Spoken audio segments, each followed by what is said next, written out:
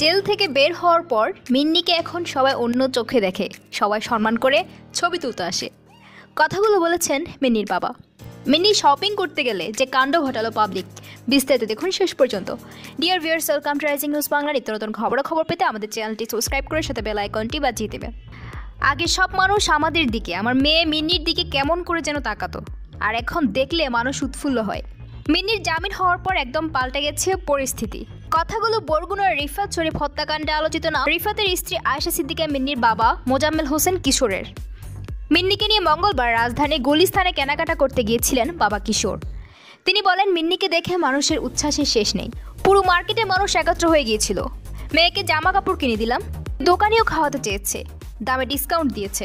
মিন্নির বাবা আরও বলেন, মানুষ শুধু জ্বরই হয় নাই। ছবি তোলার জন্য ভিড় সামলানো যায় না।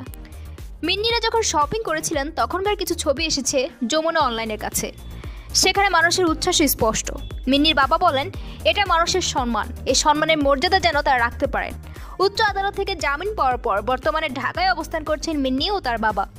কদিন আগে মিন্নির আইনজীবীর সাথে সাক্ষাৎ করতে হাইকোর্ট ভবনে যান তারা। প্রিয় দর্শক নিয়ে যদি আপনার কোনো মন্তব্য থাকে কমেন্ট করে জানিয়ে দিন। ভিডিওটি যদি ভালো লাগে, তাহলে লাইক করবেন আর ভিডিও আপডেট পেতে আমাদের চ্যানেলটি সাবস্ক্রাইব করে সাথে বেল আইকনটি বাজিয়ে দিবেন। আজকের মতো এখানে বিদায় নিচ্ছি। Thank you